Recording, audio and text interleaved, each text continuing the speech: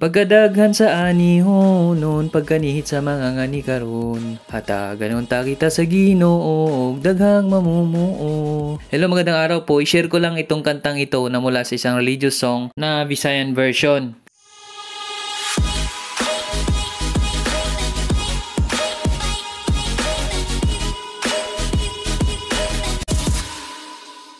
Nung bata pa ako, lagi kong narinig itong kantang ito sa simbahan, sa katolik, tsaka dun sa mga pagpupulong sa tinatawag nila dati na JKS tuwing linggo at yun ay pagpupulong ng mga uh, nasa isang purok. Halimbawa kami noon sa San Miguel, kami ay nasa Purok Bulak. Doon sa pagpupulong, isa yun sa laging naririnig kong kanta. Wherein ito ay connected sa farming para sa akin.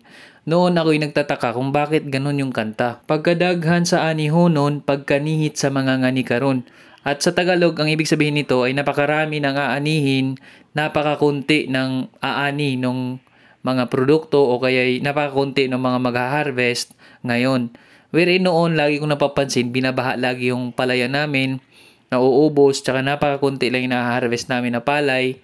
Kaya nagiging kunti lang din yung pangkonsumo namin. At madalas naman ang nakukuha dun sa palayan ay talagang pangkonsumo lang namin. Pero minsan noon, bumibili pa kami ng bigas kasi kapos. So yung negative noon, ngayon, it turns into positive. Doon ko napapansin at doon ko na-realize sa sarili ko lang kaisipan at sa sarili kong opinion na itong kantang ito ay nagbibigay ng isang malalim na ibig sabihin, malalim na kahulugan na dapat tayong ma-inspire sa farming dahil ang normal sa farming ay meron talaga tayong magandang ani dapat. At ang kantang ito ay nagpapahiwatig ng napakagandang pag-asa. So talagang meron tayong pag-asa kahit saan man tayo, lalo na dito sa farming. Bukod dun sa lahat ng pagtsatsaga natin, pagsisipag natin, number one din natin syempreng gawin ay ang pagpapasalamat at pagpapray para dun sa ating mga pangarap dahil talagang matutupad yon hanggat nandyan siya sa taas at siya yung pinakamakapangyarihan na siyang magbibigay sa atin nung ating mga pinapangarap na makakabuti naman sa atin, makakabuti sa ating paligid,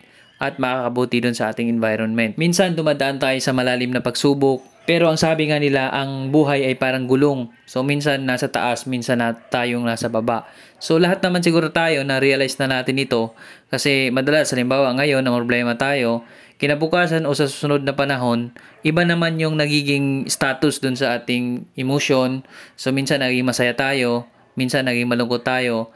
So, yun ay parte ng buhay. So, balik tayo dun sa kanta. Itong kantang ito, para sa akin, ito ay nagbibigay sa atin ng pag-asa na tayo ay may tagumpay. Kung tayo ay magsikap, tayo magdasal sa taas, talagang tutulungan niya tayo. At itong kantang ito ay nakapagbigay inspirasyon sa bawat isa. At ang tanging pinagpray lang din natin ay sana yung mga farmer matutong bumangon at i-apply yung mga learnings nila na pinagdaanan doon sa kanilang mga sinasaka para mas mapaunlad pa ang buhay ng bawat farmer. At na-share lang natin ito na saglit dahil na-inspire talaga ako dun sa kanta.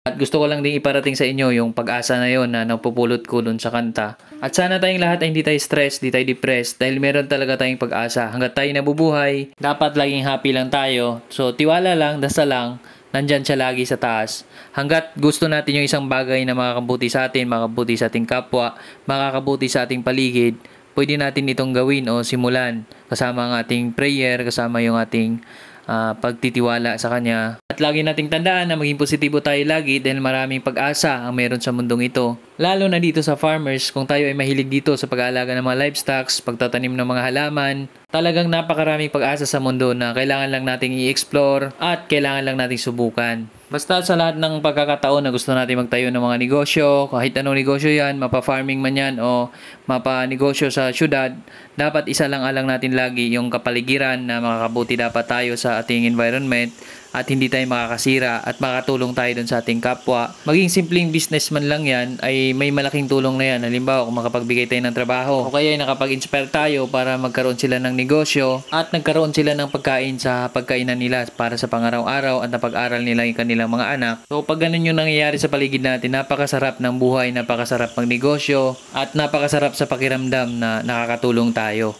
At dahil doon, yun yung magbibigay comfort sa atin sa ating pagnenegosyo at yun yung lalong magpapaunlad sa atin. At yun lang po dito sa maiksi nating discussion. Maraming maraming salamat po sa inyong pagkikinig at panonood dito sa ating channel. Mabuhay kayong lahat at happy farming po. Maraming maraming salamat po.